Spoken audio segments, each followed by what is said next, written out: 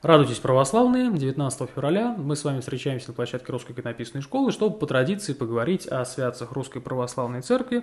И сегодня Церковь вспоминает память двух э, великих подвижников, это преподобный Варсонофий Великий и Иоанн Пророк. Они э, жили в VI веке и подвязались в Палестине, в монастыре Аввы Сирида. Преподобный Варсонофий родился в Египте. Мы не знаем точных э, сведений о дате его рождения, о его происхождении, но знаем, что он пришел в монастырь Аввы Сирида, устроил себе малую келью вблизи монастыря, и потом передал ее по наследству своему ученику, преподобному Иоанну а через некоторое время перешел в другую тесную келью близ монастыря, и для полноты а, вот так, монашеской аскезы он также принял на себя а, подвиг безмолвия и не видел никого, питался только хлебом и водой, и так провел 50 лет. А, и о жизни и подвигах и дарованиях святого Варсонофия и Иоанна сохранилось свидетельство во многих рукописях. И вот как раз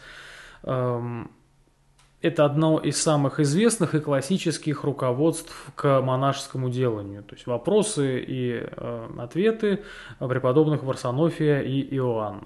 Преподобный Иоанн, как я уже сказал, унаследовал келью своего учителя, то есть мы уже знаем, что он учился у Варсонофия Великого, э, и прожил в этой э, келье 18 лет, вот в его первый в который начал свой подвиг при монастыре преподобный Варсонофий. Э, и тоже мы не знаем, откуда э, был родом и как прибыл Иоанн Пророк в обитель Авы Сирида, но, следуя наставлениям преподобного Варсонофия, Иоанн достиг вершины совершенства и стал во всем подобен своему учителю. Именно поэтому к ним и обращались, как вот к руководителям, к людям, к людям опытным, которые могут поделиться э, вот тем, что они сами имели вот в своих духовных борениях.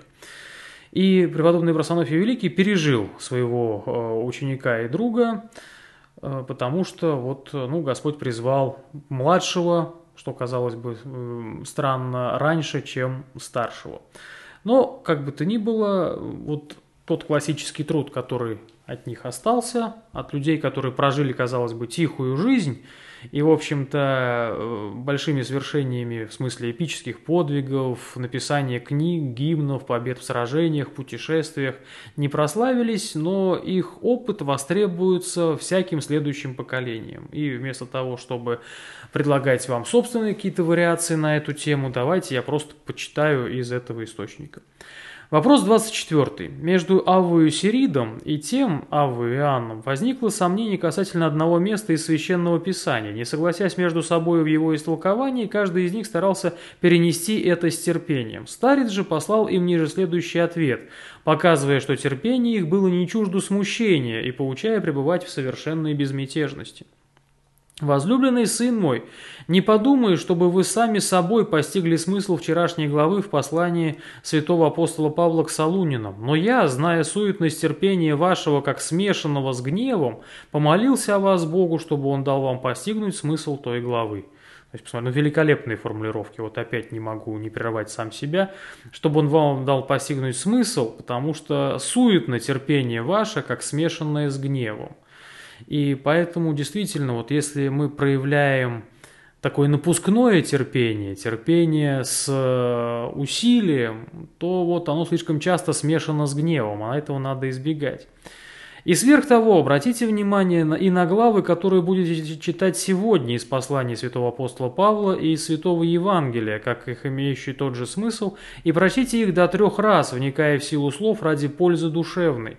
«Много терплю я и пекусь о вас по Богу, потрудитесь же со мною и вы, примите на себя подвиг, чтобы удалить от себя гнев и раздражительность, а это при содействии Божием требует подвига. А главы, о которых пишу я, суть следующая. Из первого послания к Саулинам от слов «молим вы, братья, знаете труждающихся у вас и настоятелей ваших о Господе до конца послания, и также из первого послания к Коринфянам от слов от духовных же братья «не хочу вас не видите, вести яко егда неверны бести, и до сего, но в церкви хочу пять словес умом моим глаголоти, да и ины пользую, нежели тьмы словес языком». Э, и на этом кончается ответ. И дальше. Ответ 52 того же великого старца к тому же, когда он говорил о неустройстве в мире. Это вот мы сейчас слышим повсеместно что это заговор, это рептилоиды, это проект по геноциду, это, ну, то есть о нестроениях в мире, да. Брат, пока есть у нас время, будем внимать себе и обучаться молчанию, так как все пришло в смятение. Если хочешь быть спокойным по всему, будь мертв в отношении ко всякому человеку и успокоишься. Разумей, что я говорю это касательно помыслов и касательно всяких дел, обращения с людьми и забот. Безмолвствуй с миром. Это же прекрасно, да? Вот посмотрите на краткость и на тот духовный опыт, который вложен в эти краткие словеса, да? Э, будем внимать себе и обучаться молчанию, так как все пришло в смятение. Если кругом хаос, то зачем добавлять хаос своими высказываниями? Верными или неверными, они в хаосе, э, верные не будут услышаны, а неверные только произведут еще талику смущения и еще чуть больше нестроений и недопониманий. И вот, да, э, касательно всяких Разумею, что я говорю касательно помыслов, касательно всяких дел, обращения с людьми и забот. Безмолвствуй с миром. Следующее. Что же есть послушание? Да, вот тоже много сказано о добродетели послушания и так далее.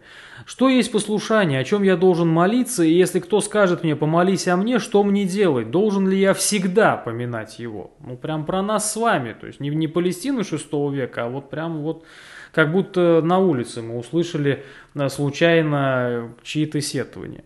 Послушание состоит в том, чтобы отсекать свою волю, но без труда никто не может приобрести послушание. Когда ты пребываешь в келье ради послушания, а не ради телесного покоя, это не есть твоя воля, и ты пребываешь так не по пристрастию, но угождаешь Богу. Если же ты пребываешь, услаждаясь успокоением, то не угождаешь Богу. В молитве же говори, Господи, избави меня от грехов моих и от страстей бесчестных. Когда кто скажет, помолись о мне, скажи в сердце своем, Бог да помилует нас, и этого достаточно. А поминать Его всегда дело не твое, но совершенных, могущих молиться друг от друга. То есть, опять же, да, если мы не, не стяжали совершенство, давайте не будем делать вид, что мы великие молитвенники. Если нас попросили помолиться о человеке, вот, пожалуйста, помянули его за литургией, и э, тут надо ограничиться. Отец мой, что значит вменять себя ни во что? Брат, вменять себя ни во что значит ни с кем не сравнивать себя и не говорить о своем добром деле, и я это сделал. То есть обратите внимание, как э, тоже точно и верно и кратко выражена мысль. То есть это не я червь, я грязь, а э, я ни с кем себя не сравниваю. Да? Сравнивают пусть с собой другие себя, а я вот настолько мал, что меня сравнить даже не с кем и не с чем. Вот это и есть вменять себя ни во что. Ну и, наконец, злободневное, и это и будет вишенкой на торте в этот день. Если я нахожу что-нибудь полезным для некоторых, должен ли я сказать то, не будучи спрошен о сем? Ну, прям вот, братья и сестры, про нас. Нас не спрашивают, но мы знаем, как э, вести себя другим, как э, обращаться с детьми, как вести себя в храме, как заходить в троллейбус и так далее. Да? И, э, опять же, когда к нам кто-то подходит и говорит, вот вы знаете, сейчас я буду вас учить, не благодарите, вам сейчас полегчает. И если брат, которого это касается, будет старше меня, про осуждение священников, архиереев, патриархов, да, или клирик, сказать ли мне о нем Авве или промолчать? Когда меня спросят, то как отвечать? Если же полезно говорить и самому по себе, то как мне говорить, чтобы не показаться притворным, то есть избежать смиреннословия и не говорить как бы уча со властью? Смотрите, какой длинный вопрос, и замерьте ответ. Отцы сказали, что хорошо говорить Бога ради, хорошо и молчать Бога ради. Слова же их значат следующее. Говорить, как я сказал, не по страсти, хорошо, ибо говорящий таким образом Бога ради говорит. А когда кто-то видит, что хочет что-нибудь сказать по страсти, то если промолчит, хорошо сделает, ибо он умолчит Бога ради.